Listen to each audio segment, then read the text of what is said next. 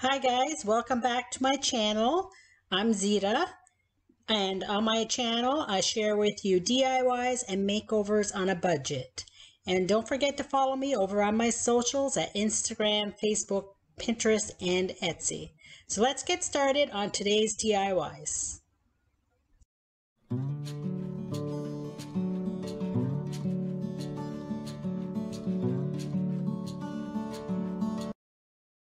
Today I'll be participating in the third Thursday Thrift Flips open invite hosted by Tammy at the Rusted Willow and Elizabeth at the Southern G Moore Gals and co-hosted by Lisa at Our Gray House. So don't forget to go in my description box and click the playlist link to see the videos of all of these other amazing creators. So let's get started on my DIYs today. Today, guys, I have some amazing Pottery Barn and old world style decor dupes for you. I had these vases laying around for years. They were uh, a gift from an ex-boyfriend with some flowers in it. And I'm going to make them over to look like these beautiful Pottery Barn vases which are way more expensive than what I'm going to create and they are going to look just as beautiful, even more beautiful. So if you have some old vases that an ex-boyfriend has given you guys, don't throw them out. Create a new memory with them. so first you're going to apply this Dex plaster all over the vases you can make a pattern on the vases if you'd like, or you can just smear it and let the texture come as you're smearing it. Here I'm, I'm applying that spackle to both the vases. And guys, you're definitely going to want to wear gloves when you do this. And this is very sticky. It'll kind of make your gloves stick together too. So once that is dried, I'd let that dry overnight, guys, so it's cured. Then I'm going to sand it with a, light sanding paper or sanding block and that's going to smooth down all those knobbies get all that off but the texture is going to remain. So the first two colors I'm going to start out with is this warm white and this warm beige. Now that beige kind of looks more peachy but first I'm going to wipe down all that uh, dust off the vases. Make sure you do that guys. I'm just using a light damp cloth here and I have some sponges here and I'm going to sponge uh, the first color on, which is the um, warm white that I'm using here. So kind of looks like a cream color. So this was my first color that I put on. Then I put the warm beige on after this, which kind of looks like a peachy color. Now, if I had my time back, I probably would have put the peach color on first because that's going to be the, or this warm beige as they, they're calling it. I would have probably put that on first because it, it is really peachy. So I just want a bit of that peeking through. Uh, I want the vases to be light, as you saw the Pottery Barn vases. They just they were really light, but had those uh, accent colors peeking through but you're you're going to apply these colors and if you don't like it you can put another color on top. So you can see the slight difference there. The one kind of looks peachy. So now I want some rust color uh, peeking through too. So I'm gonna make a rust color with orange and brown. And guys I put way too much paint. I didn't need this much. I just wanted this rust color to be kind of like an accent color. So don't waste your paint. You don't need that much. Look how much I, I, ended up putting some of this in a bottle to save it because I didn't want to throw it out. So, um, yeah, don't mix up this much. Then I'm sponging that on as well. And as you can see, this is pretty dark compared to the rest of the color. So I'm just applying this liberally, not as much as I applied those lighter colors. So once that's on the two vases, I'm going back in with the um, warm beige color. So I think it was that peachy looking color. So I went back over it with that. I still wasn't liking the color. So now I'm going to uh, apply the uh, warm white color on top of that. So you're just going to sponge it all over, guys, and uh, keep doing it until you get the color you want. So here I'm going with a cashmere tan color now and this other color by American Paint Company called Rushmore. It's kind of like a, a greenish beige. So as all these colors are being layered on here, guys, you can see how this vase is transforming into something more beautiful than it originally was. So all of these accent colors, those are going to be peeking through. So now I'm going to put this Navajo white. It's kind of like a creamy white, not a pure white. So this is going to be my last color, guys, and all of those other colors are going going to peek through those uh, vases. I guess this is not my last color. I'm going to put a warm white on top of this. So I think this is my last color, guys. So some of that lighter white is peeking through and all of those accent colors, but all that texture is still showing. So here's the before wasn't my style anymore. I didn't want that memory. Here's the Pottery Barn, $283, guys. And look at these. These are gorgeous. You got some of that rust peeking through. You got some of that peach pe pe peeking through, some of the beige. And if you haven't seen my last week's video, I created this pumpkin sign. I put those vases on my mantle to decorate. Look at all that texture, guys. They're beautiful. So if you can't afford to buy those expensive vases, create it for yourself. My next DIY, I have this old bowl in my kitchen that I thrifted. Didn't notice the crack in it when it when I thrifted it. So I'm gonna instead of throwing it out, I thought I'm gonna make it over into something like beautiful like th this that costs way more money and so you see that crack? So I'm putting it over a can guys and once again I'm going to use that deck spackle. Now guys you could probably use like a plaster or, or something as well. But I, this is what I had on hand so this is what I'm using and I'm just putting it on a turntable there guys. So if you have a turntable this will really help you turn your piece. Instead of having to turn the actual piece you could just turn the turntable and for this one, I'm not putting the spackle on the bottom. I'm just going to paint that. So here I'm putting the spackle along the rim as well, putting it inside the bowl as well.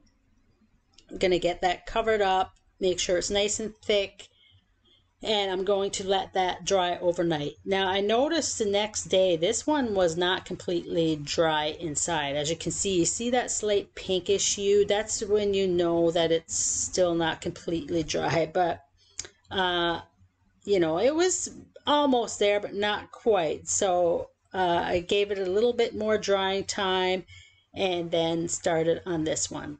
So First, I'm going to start out with the warm white on this one and the warm beige again. I was trying to make this bowl to kind of match those vases, guys, but I didn't match it completely. So here, as you can see, I'm not using the, the sponge right off the bat. I'm using this brush because uh, when you use the sponge first, it some of that white uh, spackling shows through. So I didn't want that. I wanted the complete coverage first and then I use my sponge. So now I'm putting the paint on the bottom to cover up that, you know, made in China um, on the bottom, label on the bottom there. So, and this time I started out with that peach color and then I put the lighter color on top of that. So this is, this is what I wish I kind of would have done with the vases. Now for this one, I'm changing up the colors a little bit. I'm using this uh, they call it a dark gray, but this is almost like a greenish gray. So I put that as my next color. And as you can see, it's looking really busy there, guys. And so, but don't panic. Sometimes you're like, what the heck am I creating here? This looks really ugly, but it turns out in the end as you keep layering your colors. Right here, I'm using a gold color called Spun Gold. Wanted some gold accents in this one, which is, I think I would have liked to have that in those vases. I should have put some gold in there, but this turns out so beautiful. So guys, I left this in here because I wanted to show you mistakes that I made.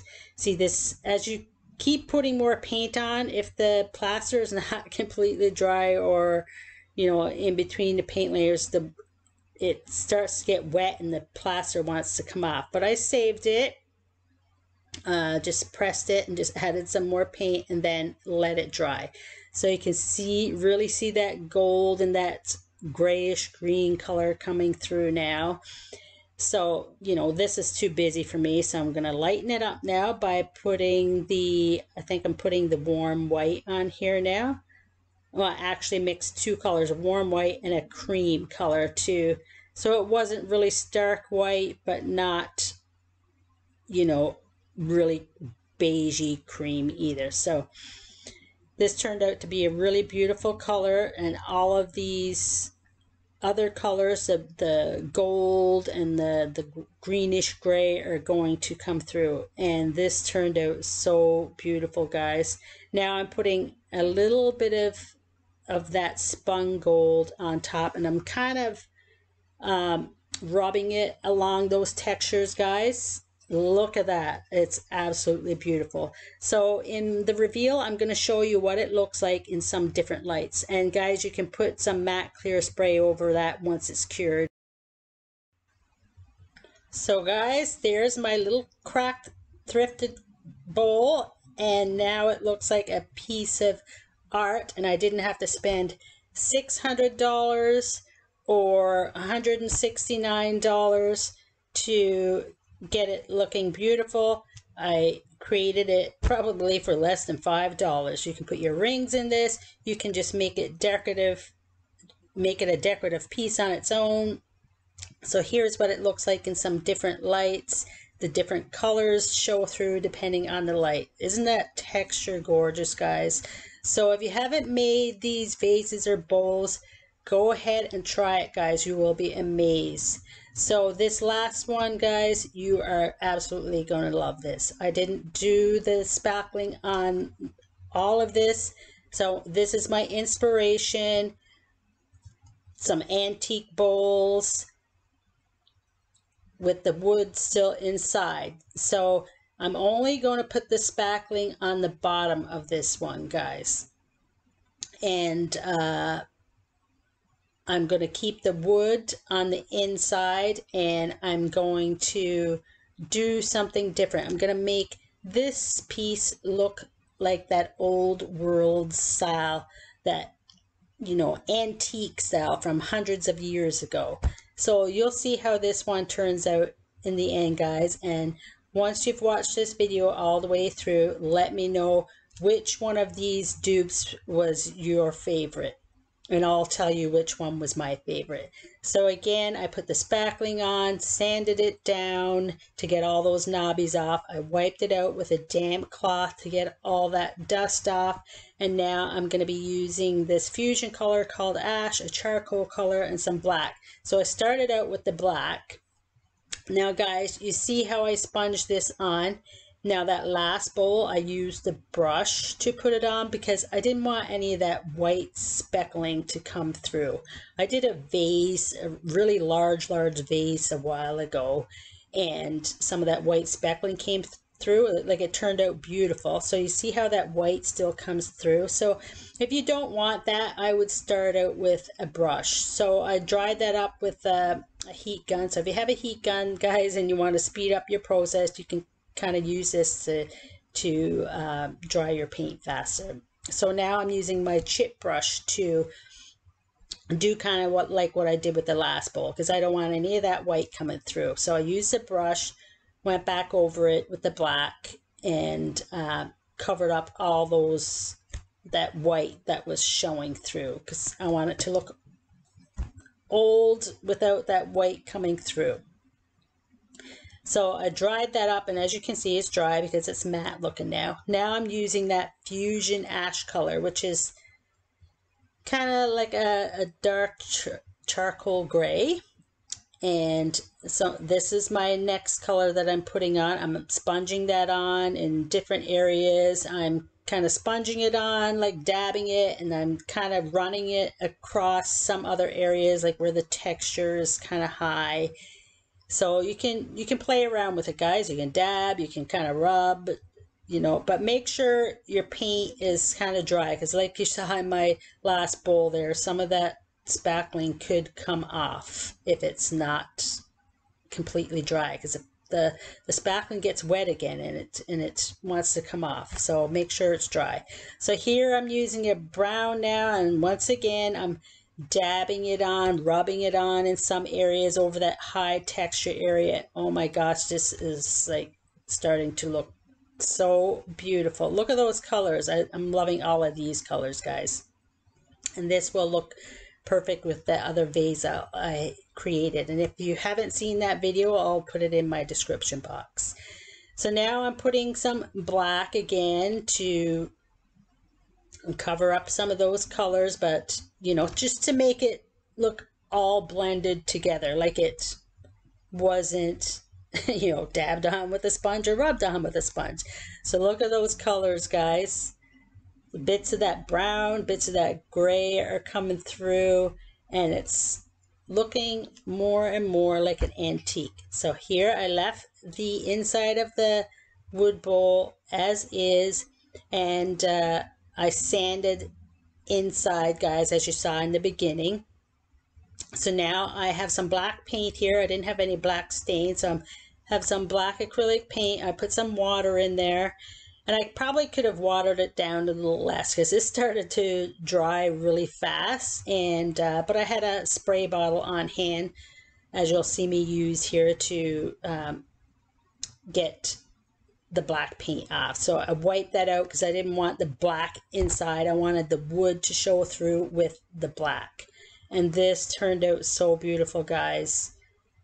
You'll see once it's finished Oh my gosh, I am absolutely loving this one. So let me know in the comments what which one is your favorite so far. So this one's not finished yet. Now I'm putting this gold on the top of this to go with the, and it ties so nicely with the black guys. What do you think? This color is called 14 karat gold and it's a really bright gold. And I do have the other gold there that you saw me use, which is called the spun gold, which I'm going to be using on this bowl as well to kind of tie in with that gold that I put on the top there. Isn't this looking gorgeous, guys? I'm absolutely loving this. So I went all the way around the rim of the bowl with this gold, and that's the only place I put this really bright gold. So this is the spun gold I'm putting on now. That's the lighter colored gold. I'm kind of just rubbing it across those high textured area, guys. And oh, this turned out so beautiful. I might want to make another one of these. Look at that, guys. Look at that gold on there. And again, you can put a clear mat on that plaster after it's cured. Inside, I, I'm putting a black wax just to seal in that wood and, you know, make it look even nicer. So uh, once that wax is dry, it's going to be dry into a flat finish. So this is what the bowl looked like before. I think I paid $2 for this at the thrift store. There's one from Wayfair for 143 Here's an uh, an antique. There's one for a thousand dollars, and mine cost probably like five dollars. Look how gorgeous that is, guys. I hope these vases and bowls gave you some inspiration today. Here I put it on a pedestal so to give it a different look there's that gold so i hope these bowls and vases gave you some inspiration. Let me know in the comments which one was your favorite. This one guys was my favorite. And thank you for sharing some of your time with me today. And i'll see you in the next video. Bye